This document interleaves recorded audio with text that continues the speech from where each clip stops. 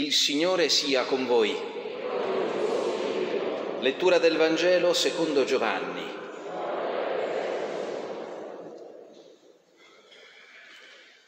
In quel tempo nacque una discussione tra i discepoli di Giovanni e un giudeo riguardo alla purificazione rituale.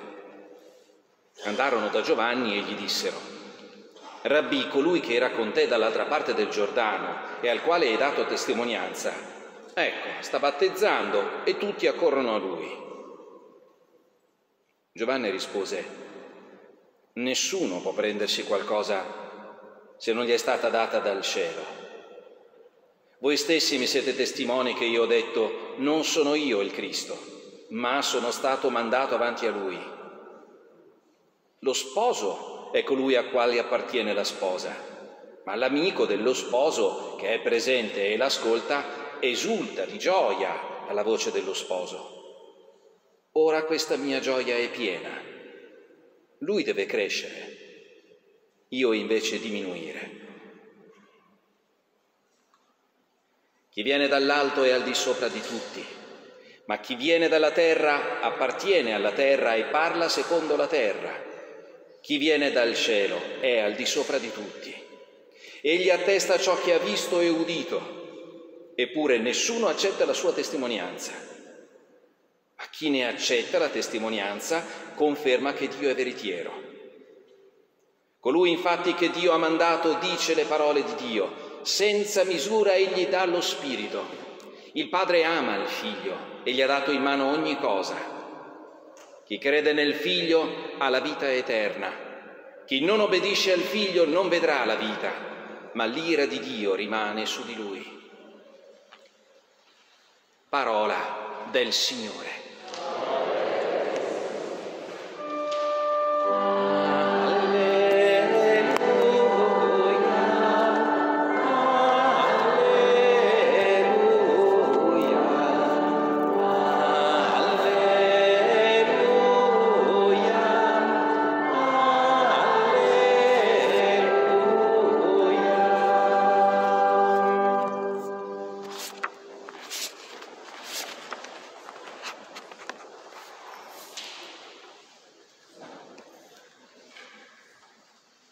Profeta Isaia è spesso impegnato, come nella pagina che abbiamo ascoltato oggi nella prima lettura, a destare chi lo ascolta alla consapevolezza della vanità del loro culto.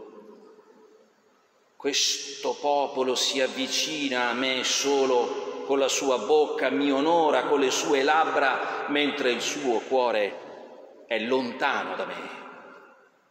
Il culto che mi offrite, dice il Signore attraverso il profeta, è vuoto, perché dentro quei gesti, in quei riti, non ci siete voi, non ci siete davvero, non c'è la vostra carne, il vostro sangue, la vostra passione, non c'è la vostra vita dentro quelle parole, dentro quei canti. Fate del culto dice il profeta, un imparaticcio di precetti umani, una poltiglia insopportabile. Voi non siete davvero in quel che fate, bocca e labbra, parole e suoni della voce da una parte, ma il vostro cuore profondo è altrove. E siccome il Talmud dice il Dio non chiede che il cuore, eh, qui c'è un problema. Quello che Isaia condanna riguardo al culto di Gerusalemme è il dramma di ogni vita umana, il dramma di ognuno di noi. Il rischio della vita nel suo complesso è che possiamo vivere una vita senza viverla davvero, avere sempre il cuore altrove rispetto a dove siamo, rispetto a quello che viviamo, il cuore altrove. Ci sono altri passi di Isaia dove il profeta recrimina alla gente che lo ascolta, oh ma voi vi rendete conto di quante volte dite ma quando è che passerà il sabato, eh, la festa? Adesso sì, siamo qui a celebrare il rito, ma quando passerà il sabato così potremo tornare a vendere imbrogliando il prossimo, imbrogliando sulle bilance, vendendo il povero per un paio di sandali, quando passerà il rito? Eh, vuol dire che siete lì a vivere il rito, ma non siete lì veramente. Nella vita ci capita di spendere del tempo in quel mormorio interiore, no? faticoso. Quando cambierà questo aspetto della mia vita? Quando troverò un altro lavoro? Quando sarò guarito da questa malattia? Oppure peggio, ah, se io avessi fatto scelte diverse, se avessi scelto un lavoro diverso, una moglie, un marito diverso, se i miei genitori mi avessero capito di più. Eh. E così rimandiamo la vita, no?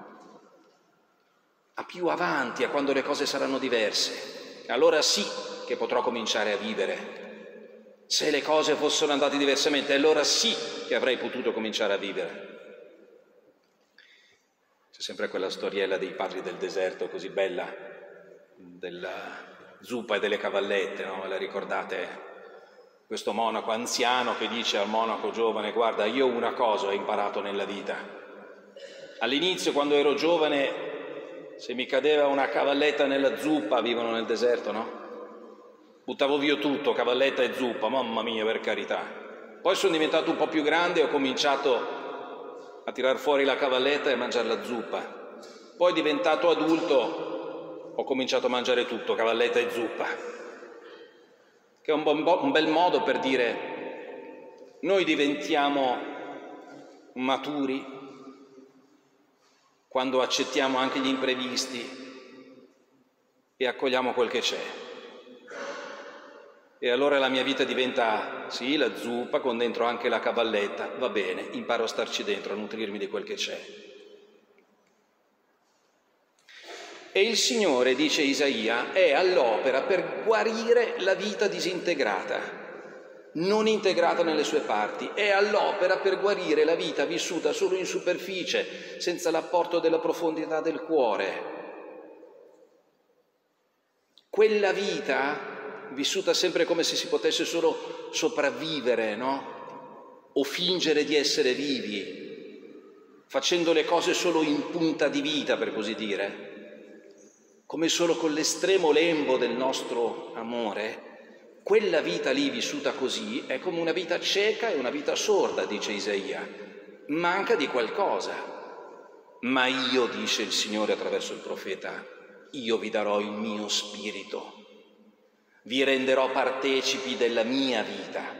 E allora il vostro cuore si desterà e comincerà ad abitare davvero i gesti, le parole, comincerà il vostro cuore ad esprimersi nei vostri gesti nelle vostre parole, non ci sarà più labbra e bocca da una parte e cuore dall'altra, diventerete una cosa sola.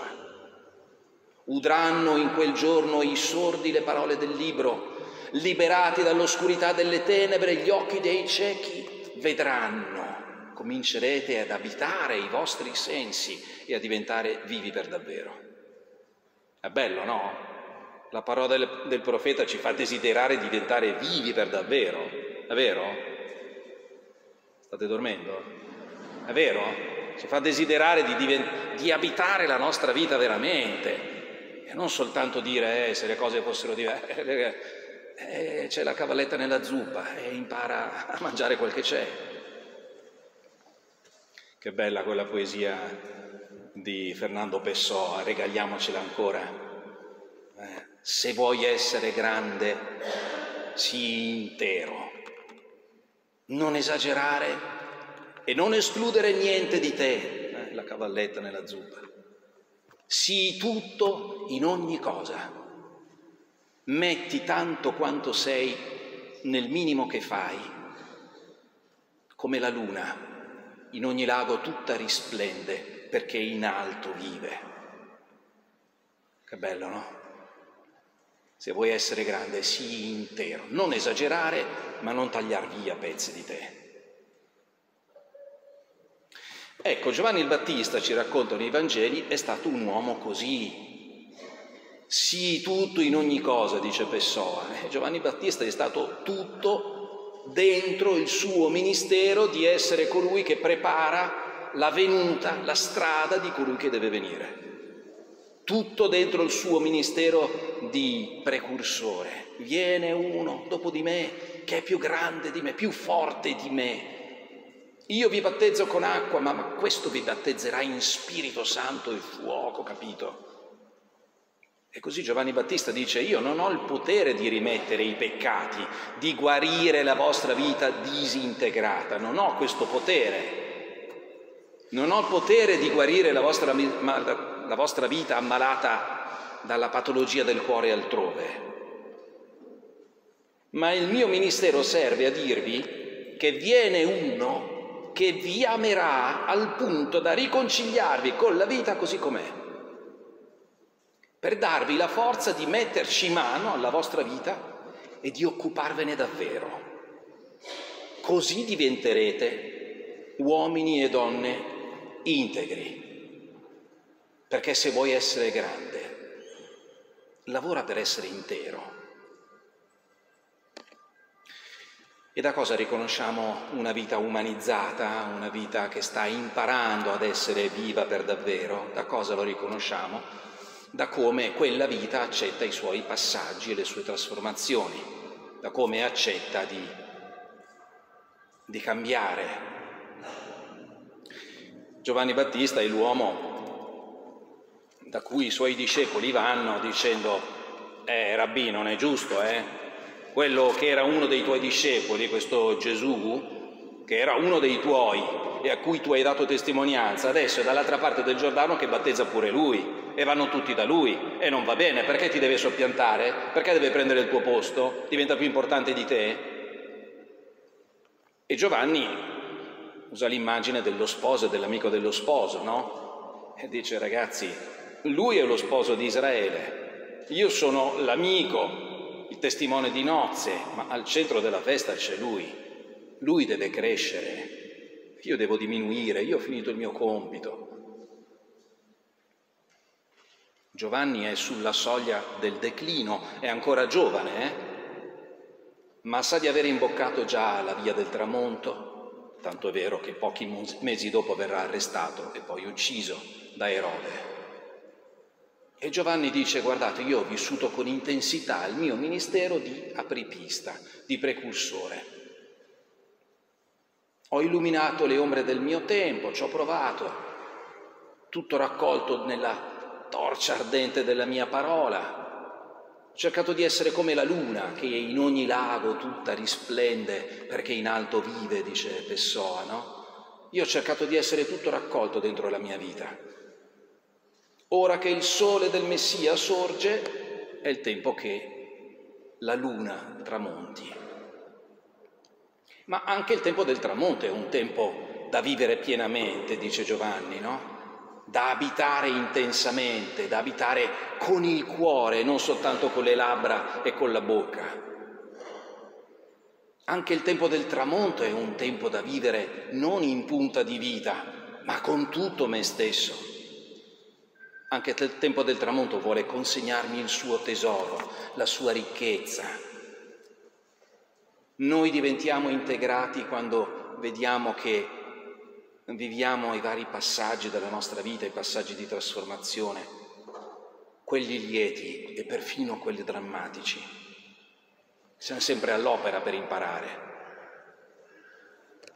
E quindi, conclusione, amare la vita nella sua natura di intreccio, di tempi di fioritura e di sfioritura, mi permette di vivere intensamente quello che mi è dato adesso. Sono radicato qui, il mio cuore è qui, non altrove.